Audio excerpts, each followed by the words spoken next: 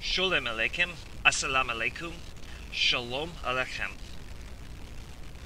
We mourn for the losses that took place on October 27th, 2018 in Pittsburgh, Pennsylvania, when 11 of our fellow Jewry were killed and 7 injured. This took place on Shabbos morning. This was Judeophobic anti-Semitism manifested by white racism.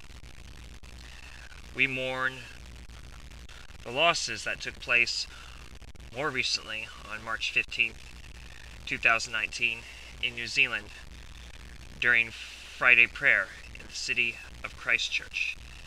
This Islamophobic anti-Semitism manifested via white racism and terrorism. This claimed 50 lives and 50 injuries. Also, about two months ago, 28 year old activist Amber Evans vanished.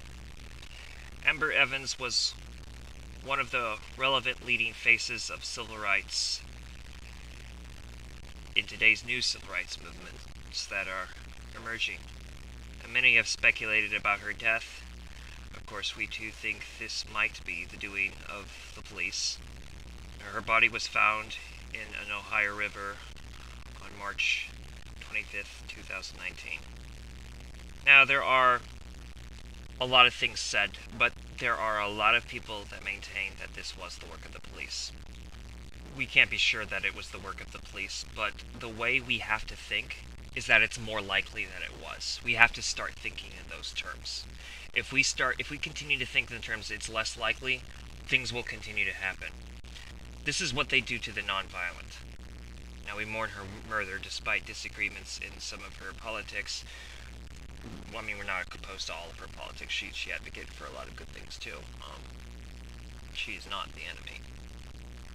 But those that did this to her, they are the enemy. The enemy murders women in cold blood. The enemy preys upon black people because they're scared of black people. White privilege is afraid of black liberation. And it's time for European Jewry to decide whether we're with the rest of our fellow Jewry, as the Jewish nation is not ethnic or racial. It is very rainbow colored. You know, brown, yellow, black, white, olive. Like the best way to, like, spread out like that. The Jewish nation has never, ever been an ethnic nation. This is what they do to the nonviolent. It's not highly in high circulation, but as far as the Christchurch shooting, this was done live streamed on Facebook, and uh, the President of the United States does not want to verbally refer to white terrorism as terrorism because the President consistently uh, invokes the concept of Islamic terrorism, even though Islamic terrorism is actually extremely rare. There are several people that believe, like credible people that believe, like they believe, and, and I'm talking about people with the credentials. I'm not talking about some type of populist conspiracy theorists. I mean people with real credentials are under the impression that the uh, the ISIL or ISIS, um, ISIL meaning uh, Islamic State of Syria and Levant, or um, I'm not sure what ISIS would stand for, so go with ISIL, um, Daesh. That the Daesh group, um, there are many people that believe that it's a complete and total proxy of the United States of America and the State of Israel. Now, I have some pretty fixed views about that that are not going to be presented. Now, I did read The Great Replacement. That's the manifesto written by the, the Christchurch shooter. And I don't think I can... See, the problem is, is I don't like the fact that it's censored. I, I don't believe it's going to inspire a bunch of uppity people to do stuff, because if that's the case, I mean, what about the Turner Diaries, uh, which was a fiction book, you know, Timothy McVeigh? I mean, look, the fact of the matter is, the reason why they censor it is because the white supremacist who did this was pro-Zionist one of the big cover ups in our society, and it is a cover up if you pay attention. I'm not saying conspiracy, and the fact that I even have to clarify that to anybody is this shows you how badly truth, real truth, actual what is factual information is under assault. And the reason for this is they fear revolution. By they, who is they? The establishment, the capitalists, the people who have money, families with children who have money, who want families with children that don't have money to die. That is the truth. There is class warfare. If you deny that, it's like it's like shunning math.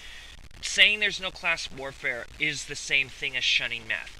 Um, shunning the reality that there is class-based conflict is like saying physics is not true. There are things you cannot take on faith. And one of them is the fact that the wealthy elites would like capitalism to stay in place so that poor people continue to serve them. Because all you have to think about it is a person that gets off on a bunch of people dancing in the fashion that he asks to be danced. You know, like like if you, you see a person who has a bunch of people surrounded and they're giving him his birthday party every day. That's very much how the top capitalists are.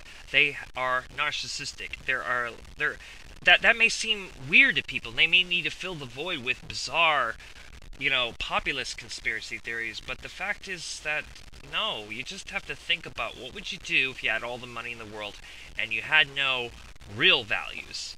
If your values were if your values were to keep up profits and to have the great cars and for your children to inherit those cars, well, you know who you'd be. You know who you'd be if you were raised like that. You'd be kind of like, forgive the euphemism, you'd be like a, um, be like a sadistic,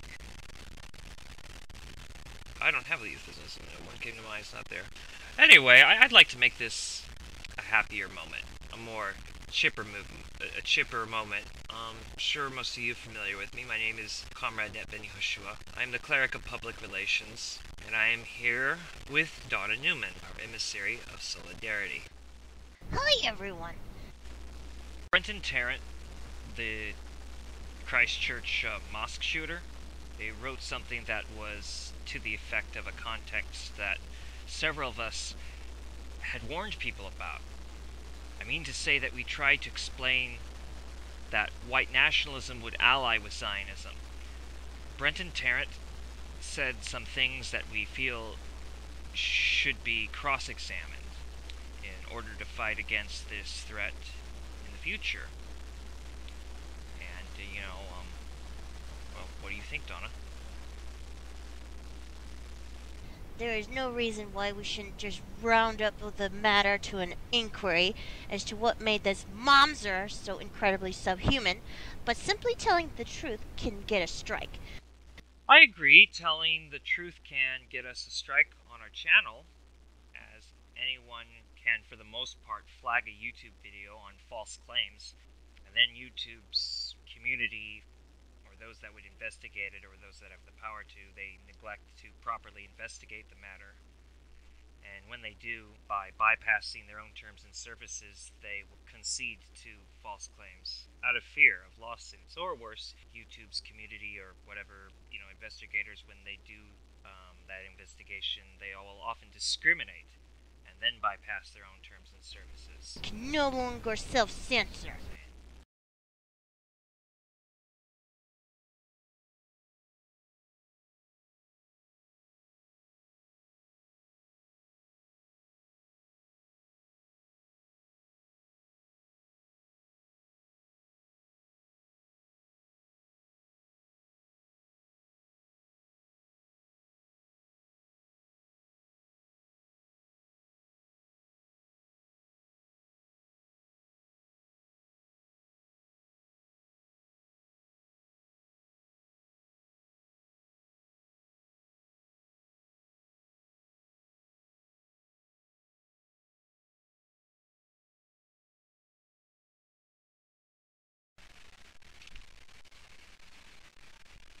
In the course and development of colonialist Western thought, there have been multiple splits, but the core notion it retains is the reactionary ideology of whiteness. Classical fascism was rooted in hyper-nationalism, and then splintered into the realm of Strasserism, National Bolshevism, European and white chauvinism, Zionism, etc., etc., etc., all with their own associated fringe thinking. Quote unquote logic, quote unquote, that at best will identify a fact and then develop reactionary rationale to explain it, or at worst, will utilize baseless, non factual populism to weaponize ignorance against an innocent, otherized populace. With the advent of neocolonialism and its predecessor, bourgeois liberalism, a form of parentalistic white supremacy had evolved to justify the exploitation of the colonized nations and the proletariat entire. But in the process of evolving from one to the next, it was recognized that the white settler population must be giving tautological pro-white justification to keep them separate from the oppressed and colonized peoples.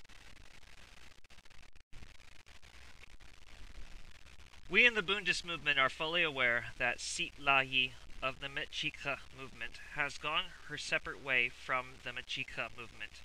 You can still find her on her personal channel, Nican Tlaca Women Warriors. And yes, we support Nican Tlaca liberation struggles. And we hold the right to do so without being accused of endorsing Mayanism. Nican Tlaca activism is not Mayanism. And that is not meant to be an assault on Mayanism, just to be clear. So we bring you to this video, and this video that we are putting here is actually an endorsement to the Mexica movement, but it is done through the mouth of Sit La Yi, who probably was one of the best members when she was in the Mexica movement, and she's still a wonderful person. Of course, we support the Mexica movement, and we have reasons for this that will be put into bigger detail in the next video. This video is called Colonialism and Emotion, Citlali of the Mexica movement. This video was published on September 30th, 2015. Collectivity. I've been really thinking about who we are as a people, where we are historically today, the battles that we are facing, the colonialism that we face every day, and it just hits you because you realize that we have been systematically kept away from each other, from uniting with each other, from uniting as a people, as a community, as whatever relativity that we have as a people on our continent. And it's very sad because without an established unity, we are being suckered into colonial identities and colonial realities and colonial illusions of success and standards of education and beauty. And there's so much being thrown at us uh, to diminish us, to diminish, to belittle our identity, to belittle our integrity, to belittle our dignity as a people. And I just wanted to make kind of some comments on this whole reality because a lot of us we don't think long term we think you know it's hard because we're working we're going to school uh, whatever you may have problems with your family. Life is hard as is when we're under this occupation and we have this uh, very uh, oppressive and suffocating system of colonial capitalism. But you know i just want to encourage everyone to to let's wake up every day thinking of the future thinking of what we can do to better our reality to better our people's condition. What can we learn? What can we teach what can we study what can we say what can we present what message can we bring you know and it's really hard because everything the majority of these institutions and these systems are not there to nurture a decolonizing perspective review. And you know, colonialism, it's an ongoing thing. We're all colonized at so many different levels. None of us is 100% free of colonialism. But we have to just try to create an awareness with our own selves and with our own lives, with our own sanity, because people are going to make you feel like you're crazy or you live in another world or you know, and we have to take that and say, yeah, we do live in another world. We live in the world where we're not going to be dictated by white supremacy, where white supremacy is not going to stamp everything we say, everything we think, everything we, we desire, everything we dream of. And so, you know, this, this, this concept of unity, this concept of, of coming together as a people is, is powerful. It's, it's, it's going to surpass centuries of genocide and colonialism. And I say this because, like I said, it, it's hard sometimes where, when you're out there and you're talking about this and, um, and then you kind of just wonder, like, do people get it Does it make sense? You know, and, and it's really hard because a lot of us, a lot of our people, we don't have the awareness of history, the awareness of how history happens. And we don't, since we have not lived certain experiences or certain realities, we automatically assume it's not possible and it's not realistic. And we rob ourselves of that imagination of believing, not even believing, but embracing a world of that is indigenous focus, that is Nican Tlaca. And when we're trying to create this reality, again, we're we're coming across and we're being um, completely bulldozed by by white supremacy whether it's at work or school. And we're really trying to shove. We're trying to push our way through this system push our way through work push our way through school and just realize you know that we represent a historical struggle. We represent a survival of a people that are not meant to be here, not meant to survive mixed blood or full blood, whatever type of quantum. You are not supposed to be here according to the agenda of white supremacy. And so for us to understand that, it kind of, you know, when we wake up every day, you know, let's try to bring in that positivity because it could be very discouraging. It could be very demoralizing. It could be very um, frustrating at times. And it's like, how do we maintain this this calm? How do we maintain this peace? And I just wanted to share that because I think a lot of my videos, you know, I get very um, historical and dates and facts and definitions and stuff, but th there's a huge emotional aspect to this. There's a huge mental um, aspect to this whole process of colonialism and decolonization and I just wanted to share that because, it, you know, I got to be real. I got to be real with you guys. And I got to be real with myself and say, this is hard. You know, this is not easy. If it were easy, we would be free and not take five centuries. But uh, either way, we have to keep in mind that we are warriors. We are out there. You know, let's support each other. Let's encourage each other as warriors. Let's support each other.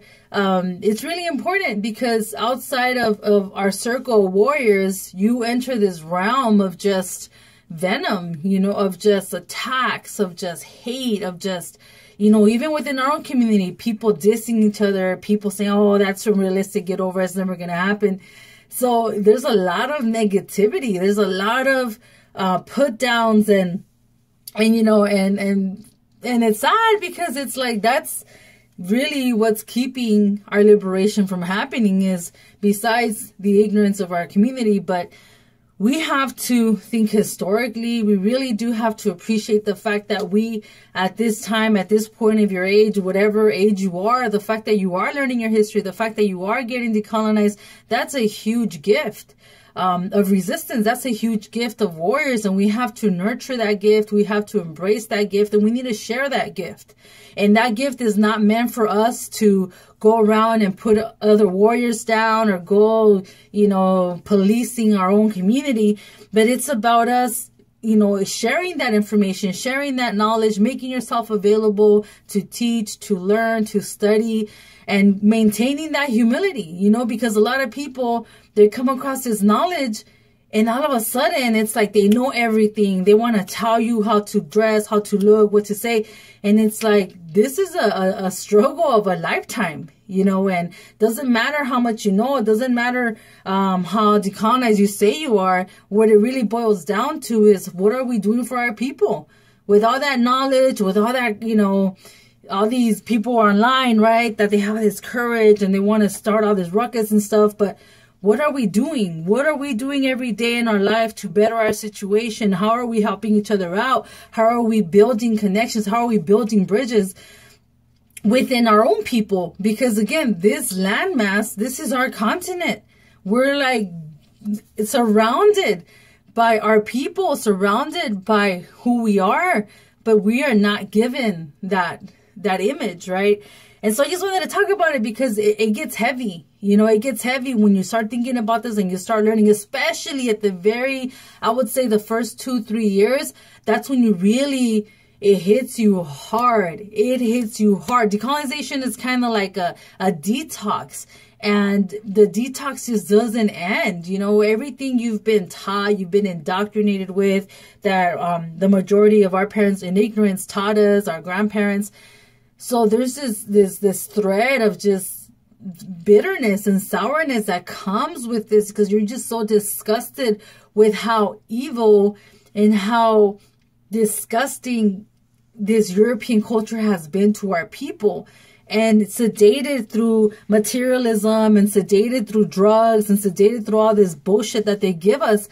It's hard for us to to really realize and recognize just how fucked up we are you know and again this is not to say be all like negative and stuff but I, am being real like that's that's the reality that we come across. So how do we get to that realization and how do we pull the the positive and pull the love and pull the strength and courage out of us and into our community? You know because again knowing who we are decolonizing it is a gift but it's also a responsibility and we have to nur- nurture that gift. We have to share it. We need to let the world know we're here. We need to be there for each other. Um, I just wanted to share that because it's just, um, it's a lot. It's a lot of things to consider. It's a lot of things that we go through. But again, you know, we have to be compassionate. We have to be considerate. We have to be respectful and we keep going. You know, uh, I get a lot of hate mail, yada, yada. You should do this. You should do that. Why are you this? Why is your lips red? Like bullshit. Like, you know what I'm saying? Like image and whatever. I'm not here to live up to anyone's standard of what I should sound like, look like, talk like, any of that. I'm here to represent a message of liberation that I've learned through the Mexica movement for the last 18 years of my life. And I'm here to try to make this understandable, make it transparent, like this message. I want to make it as clear as possible as I'm learning, as I'm growing, as I'm decolonizing. I'm hoping to share that with my people. And this YouTube, this shit right here, this box, this computer, this is a tool for decolonization. This is a tool for us to communicate with other warriors and say, no, you're not crazy, brother and sister. This is a system of white supremacy. And we in the Mexica movement know that. And we're here on YouTube and we're here um, protesting and we're protesting the Serra canonization and we're protesting Columbus Day and we make events and we go to high schools and we go to universities. We are trying our best with whatever we can to make this message accessible to our people. We go out to the community. We are very transparent with who we are, what we look like, what we say, what our points of views are. It's all here. And it all stems from the love of our people because we love our people, because our people deserve the truth, because we know what it's like to be ignorant. We know what it's like to be colonized. We know what it's like to be stuck on some real fucked up white supremacist venom poison. And we want to help our people out of that. There's nothing more beautiful than knowing that we are waking people up. You know, I get tons of messages from teenagers that come to me and they thank me, um, thank the organization for the message, for knowing finally they say, I know who I am. Thank you. That's beautiful. That's what this is about. This is about us learning who we are and waking up and embracing that knowledge and embracing that realization. So I know it was all over the place, but I really wanted to just share with you that part because I've I've had this inside for a while and I just wanted to have a conversation with you and in in a sense have a conversation with myself because you as an indigenous person are a reflection of me and I am of you. So with that, um, for your support, for your love, for your courage. Um, yeah, let's keep going. Let's keep decolonizing. Dasukamati, Citlali from the Mexica movement. Keep strong, stay awake. Brenton Tarrant wrote a manifesto that is censored from the internet. The real reason for this is because most white supremacists openly say the very things he writes in his filthy manifesto. He poses what he feels others would ask him in this manifesto with answers to these questions. I'm going to go through some of them for you right now. The question he the question he puts here to himself is did the groups you support are did the groups you support slash are aligned with other to promote your attack? He answers no. No group ordered my attack. I make the decision myself though i did contact the reborn knights templar for a blessing in support of the attack which was given there's no reason to doubt that by the way there's no reason to think that Brenton Tarrant was not given such a blessing by Templars, as Anders Breivik was clearly a Templar. And yeah, the Telegraph came out with something saying, don't call and, uh, Anders Breivik a, a, terrorist and that his Templar group was fictional. But anybody who knows what the what is the Telegraph? It's an anti-Semitic newspaper. And it's never really written anything that was true, ever. Was the attack anti-immigration in origin? He replies to himself, yes, beyond all doubt, anti-immigration, anti-ethnic replacement, and anti-cultural replacement. Ba basically, fictions about white genocide. Amazing how sick, how sick this guy is. This Brenton Tarrant truly is sick and twisted and very subhuman. He fails to mention how European power has created America, Canada, New Zealand, Australia, Israel, the Spanish oligarchy over Mexico and South America, how the white power structure is devastating the Muslim world. I mean, he completely doesn't mention why there's all this immigration from the Middle East. Where are you an anti Semite? He replies, No. Okay, so he asks himself, Where are you? Where slash are you an anti Semite? His response is no. Actually, he is. He is very anti Semitic. He doesn't care about the genocide that the American power structure is doing to the Middle East or what NATO has done to the Middle East. He doesn't care about that. I mean, he does say a lot of weird stuff. This this the thing is, um, his book, The Great Replacement, is extremely incoherent.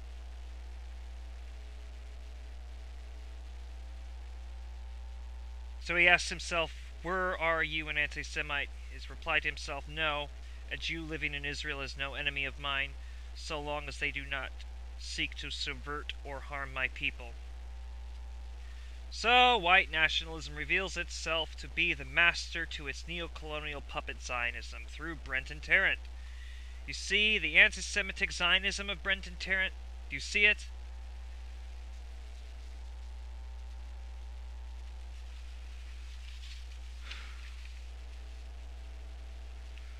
Where are you a conservative? He asks himself, where slash are you a conservative? His reply to this is no, conservatism is corporatism in disguise. I want no part of it. Stupid answer. Corporatism is the fascism of Mussolini. Why does everyone try to rebrand corporatism? Seriously. Where are you a fa- where slash are you a fascist? Yes, for once the person that will be called a fascist is an actual fascist. I sure I am sure the journalists will love that. I mostly agree with Sir Oswald Mosley's views and consider myself an eco-fascist by nature. The nation with the closest political and social values to my own is the People's Republic of China. And by the way, for the record, China is socialist only in name. but it is not socialist in practice. And let me be clear here, it is not Marxist Leninist in practice anymore. The Mao Zedong Maoist, the, the, the, the, the, the Marxist Leninist, the Mao Zedong thought China no longer exists. I do want to make that clear.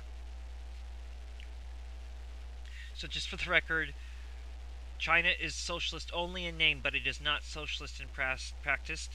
So, so China is not socialist in practice, and also the classical fascism of Sir Oswald Mosley would count as corporatism. Yes, the, the fascism of Sir Oswald Mosley is the same thing as Mussolini's corporatism. I don't know if anybody realizes that. So he has said that he is against he's against corporatism, but he himself is admitting to being a corporatist. That's incredible. Was there a political figure or party in history you most associate yourself with? He asks himself this question, and again he answers himself. Sir Oswald Mosley. In so he asks his he asks himself, was there a political figure or party in history you most associate yourself with, he answers himself with Sir Oswald Mosley is the person from history closest to my own beliefs. Thus, Brenton Tarrant confesses himself as being a corporatist just after denouncing corporatism. Tisk tisk there's a lot more junk in there, but that's just the incoherency of it. It's just the same way where David Duke followers say that they hate a state, they, they hate the state of Israel, and yet one of the biggest endorsements that Donald Trump got was from David Duke, even though who was giving the most of the pro-Zionist position was David Duke during his entire campaign. Thus, it, thus that's why we know David Duke is in fact a Zionist because true white supremacists are Zionists. But is Zionism white supremacy? Well, Zionism is actually neocolonialism. Um, is it fascist? Oh yes. Is it Nazi? Well, the well, several Kahanists say that they are Jewish National Socialists. So several Kahanists are saying that they're Jewish Nazis. So that's harder to answer, but it's definitely neocolonialist there's going to be a, a point where we're going to breach the problem of Kahanism. But that just shows you the sickness that is Brenton Tarrant.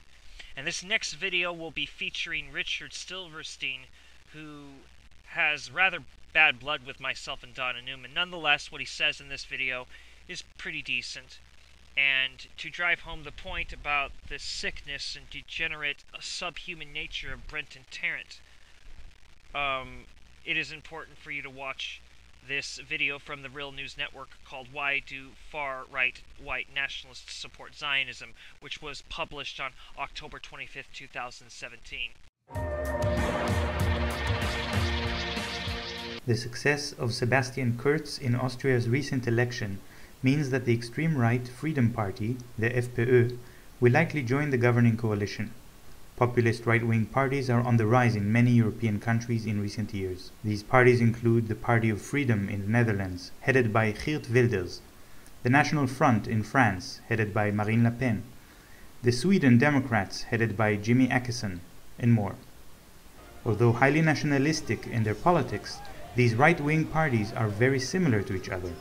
They share an Islamophobic and xenophobic ideology, and very interestingly, they all share a strong support for Zionism and for the State of Israel. Michael Colborne wrote an article for the Haaretz newspaper with the title Rise of a New Far Right, the European Philo-Semites Using Jews to Battle Muslims, to address the seeming contradiction in the European far right. Indeed, there really is no difference between philo-Semitism and anti-Semitism. There is no such thing as positive racism. The far right groups did not replace their hatred of Jews with the hatred of Muslims. They continue to hate both groups. Richard Silverstein told The Real News about how the election of President Trump emboldened those groups in the United States. I think that the anti Semites in the United States are affiliated with the alt right movement that you uh, uh, correctly uh, associated with Breitbart.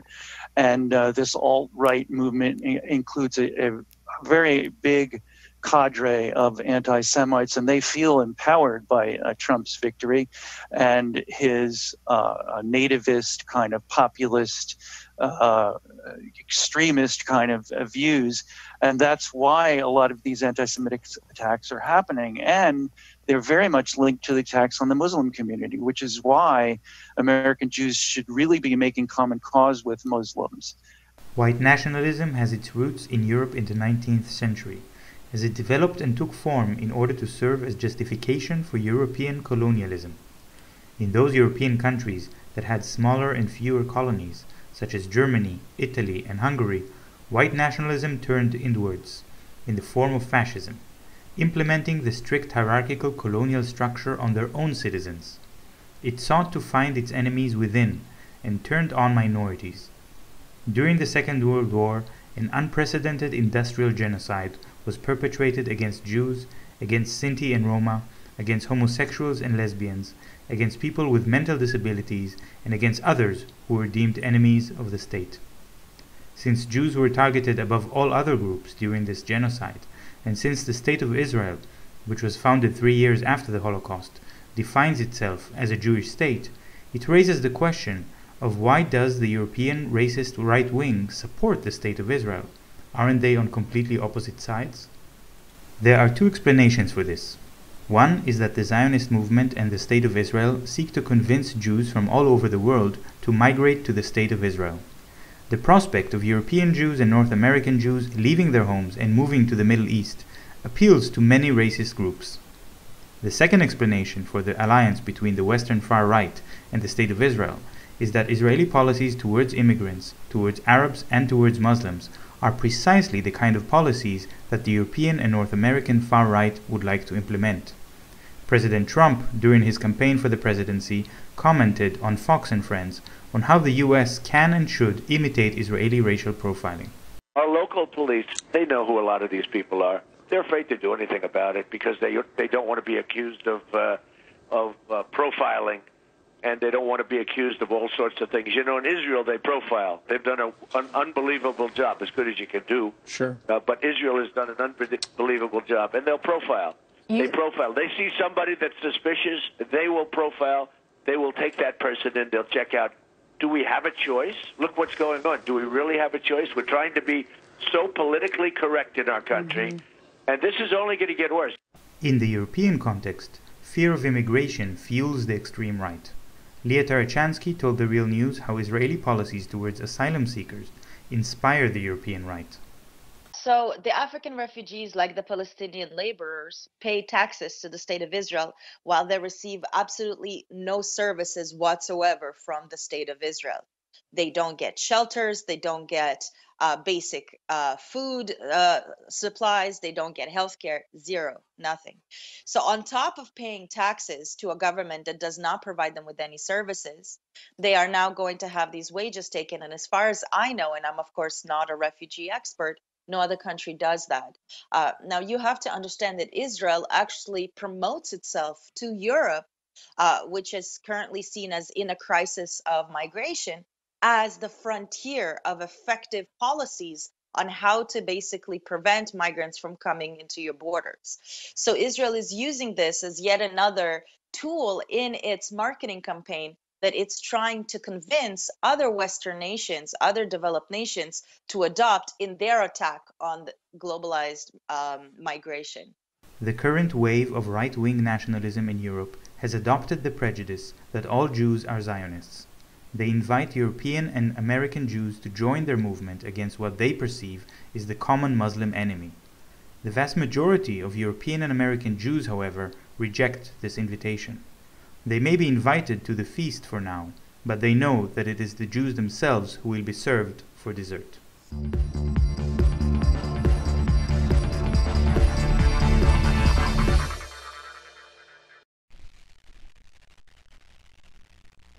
This was engineered by the ruling class so the white masses would stand in defense of the white bourgeoisie and in turn protect their own standing and relative privilege in relation to the white colonial power. This privilege by proxy is the foundation of colonialism and imperialism. in that large swaths of white settlers were made into collaborators with the white ruling class. And being that the white settlers had no real concrete resources to differentiate themselves from the other proletariat, their answer was to develop a community interwoven with white supremacy. That is, the concept that whiteness is superior by design, without any innate merit in its own right, means that the white quote unquote proletariat quote unquote had no innate qualities it could construct as valid. It had to devise its own subjective and ridiculous criteria as to what was considered superior.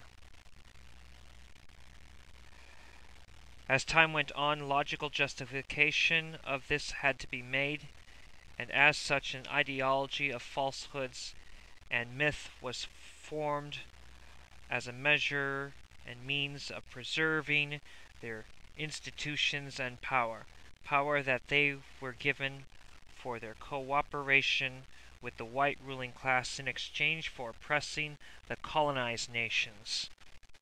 And we end this presentation with the first part of a trilogy featured on AJ Plus. I bring you to an AJ Plus video titled What's Fueling Far Right Hate in America? So again, this video is titled What's Fueling Far Right Hate in America? And this was published on February 19th of 2019. We're not letting them in, but they're trying to flood our country. The nation faces a major threat, but it's not the one President Donald Trump is talking about. What is the biggest threat to the United States right now? Well, I think on the terrorism front, it's white supremacists. More people have been killed by white supremacists since 9 11 than by people who, you know, believe these kind of extremist, twisted forms of Islam. In 2006, there were six incidents of terror-related violence on U.S. soil. In 2017, that number was 65. That's a nearly 1,000% increase in a decade, and most of those are the result of far-right violence. The last few years alone have given us several high-profile examples, like the Pittsburgh synagogue attack, the Unite the Right rally in Charlottesville that saw a woman killed, and the Charleston Church massacre. That's our major goal is we want an all-white nation. We want, you know, because we believe we're the superior race. We believe that we were here first. This display of violence has been decades in the making. And for years, some have been trying to warn us about this very moment. Hey fam, I'm Imayan. In part one of our three part series, we're taking a look at the explosion of far right extremism and looking at what, if anything, the government has done to combat it. You will not replace us! You will not replace us! This is America. Scenes like this have become more commonplace because groups like these are more prevalent. The United States is in the middle of a surge of far right violence. Two thirds of politically motivated violent attacks in 2017 were tied to far right wing ideologies. It's the increase in these types of attacks that interests Heidi Beirich. She's an expert on extremism and for years has been studying the growth of right wing violence in the U.S and we've agreed not to disclose her location for safety. Usually, far right extremism is exemplified by two things either extreme anti government positions, and by that I don't mean like low taxes, I mean literally opposed to sort of the federal government and the idea that it exists. And then, it, as you get more radical on the far right, you start having notions of white supremacy and racism become part of uh, the thinking. Globally, the number of attacks dropped between 2014 to 2017. But recently, the United States has seen a surge in what's been called terror related violence by the Global Terrorism Database. And Beirich says the far right increase happening in the US right now is also occurring in some European nations because of a commonality all these countries share. Where you're seeing far right movements increase is where you have a white population that feels under threat by growing minority or immigrant populations. And so the problem with white supremacist terrorism isn't going to go away. Most of the 65 ideologically extreme incidents that happened in 2017 were linked to anti government, fascist, anti Muslim, homophobic, anti Semitic, or anti immigrant motivations. Like the Unite the Right rally in Charlottesville, Virginia, where a driver rammed a car into a crowd of counter protesters killing anti racist protester Heather Heyer. That rally included members of the alt right, neo Nazis, and white nationalists. And right now, we're about to meet the man who tried to warn the country about this far right swell way before it even happened. Daryl Johnson is the man who told the U.S. government it should brace for a resurgence of right wing violence all the way back in 2009. You know, on the Republican side, there was absolutely no interest in listening to what we had to say. Uh, which I thought was sad. And what I find staggering is that, you know, I'm a conservative, I'm a Republican, and yet I could call out this threat for what it is. So Johnson foresaw this, but what made him predict it? I, Barack Hussein Obama, do solemnly swear that I will execute the office of President to the United States faithfully. But it wasn't until we had the 2008 election that we saw a resurgence in these groups. We had the first time African American president, which really agitated a lot of the racist groups. This was kind of their worst nightmare come true. And then we also had the economic downturn in 08, which provided fertile ground for a lot of people to join anti government groups. Johnson was so worried about a rise in right wing extremism, he testified before Congress in 2012. His testimony came in a post 9 11 nation when the U.S. government focused heavily on Al Qaeda. For Johnson, this wasn't some partisan issue. He was a third generation Republican trying to highlight what he saw as a security threat. Eight members of the Hutaree, an extremist militia in Michigan, that were acquitted this year of plotting to kill police officers and planting bombs at their funerals, had an arsenal of weapons at their disposal that was larger than all 230 plus Muslim plotters and attackers charged in the U.S. since 9 11 combined. The reward the government gave Johnson and his team was retracting their report and dismantling the team that created it. For decades, the U.S. government has poured money into programs to fight what it calls violent extremists and terrorism. But those are terms which it doesn't even apply consistently. Here's President Trump talking about a mass shooting a white man committed that killed 26 people in Sutherland Spring, Texas in November 2017. I think that uh, mental health is your problem here. This was a very, based on preliminary reports, very deranged individual a lot of problems over a long period of time. And here he is talking about allegedly religiously motivated violence. We are also taking strong measures to protect our nation from radical Islamic terrorism.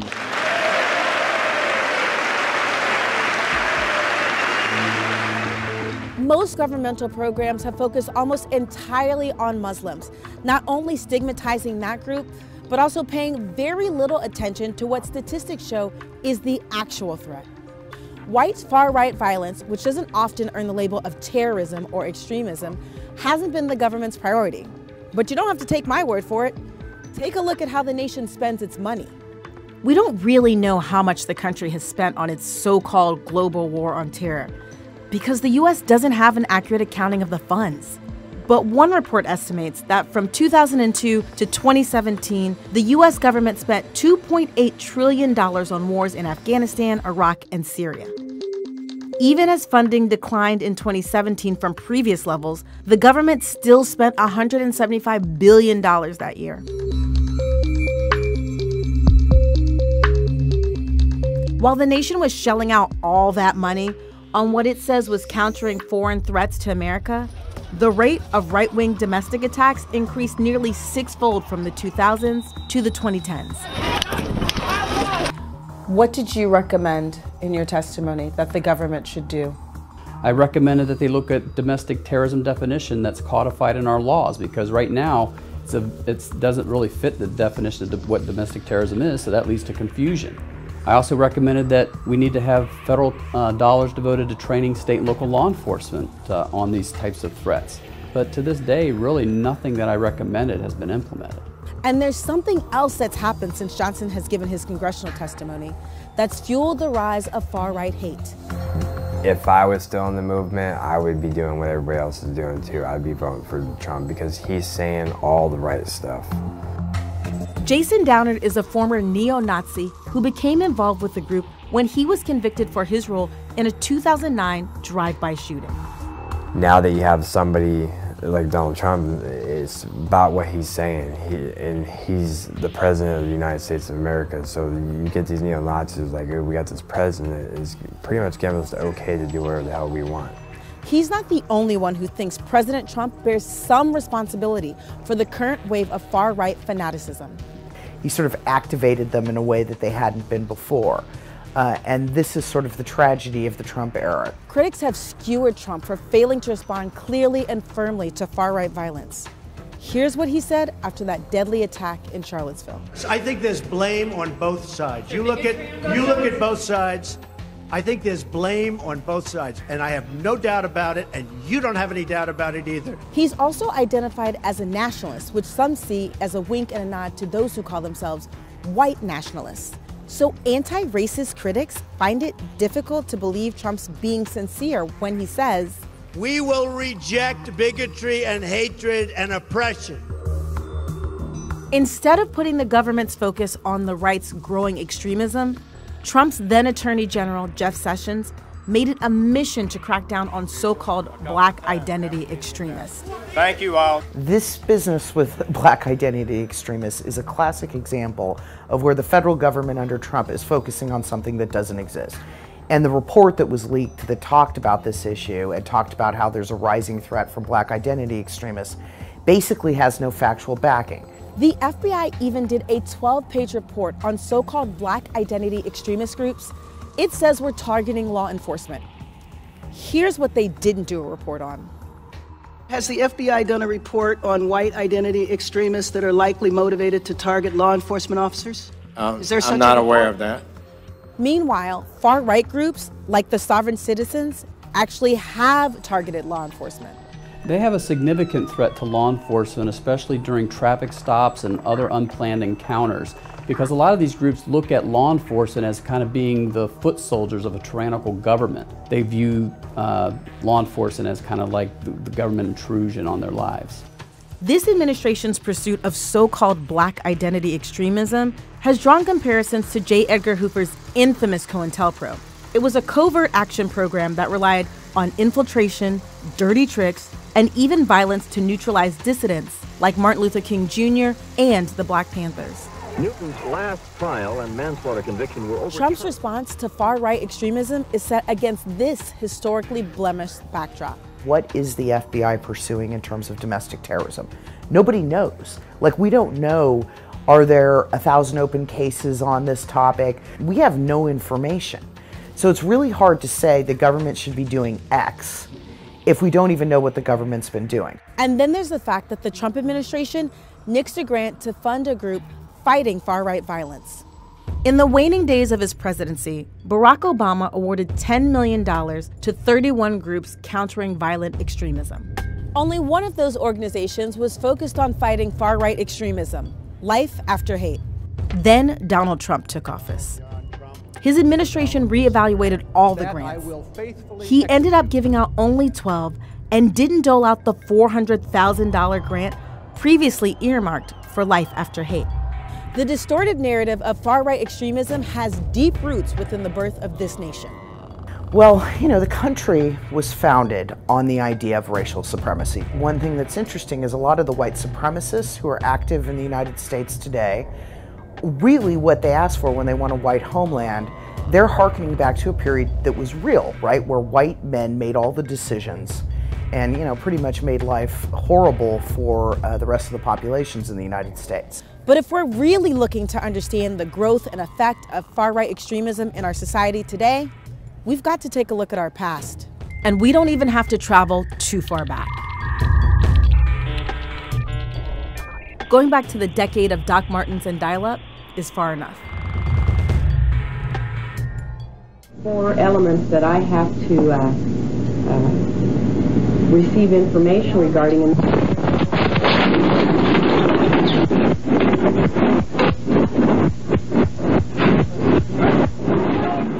Holy cow. About a third of the building has been blown away. Everything went totally dark and I was knocked out of my chair. That seemed to all happen at once. Right wing hatred is the cause of the deadliest act of domestic political violence in U.S. history. And the face of that attack wasn't the one Americans initially searched for. Well, am I, am I pure evil? Am I the face of terror sitting here in front of you? So, what happens when far right violence meets an unprepared government? The federal government of the United States must take full responsibility for Oklahoma City. Hey fam, thanks so much for watching. Don't forget to like, share, and subscribe. And be sure to stay tuned next week when we release part two of our series. We're headed to Oklahoma City. I hope to see you there.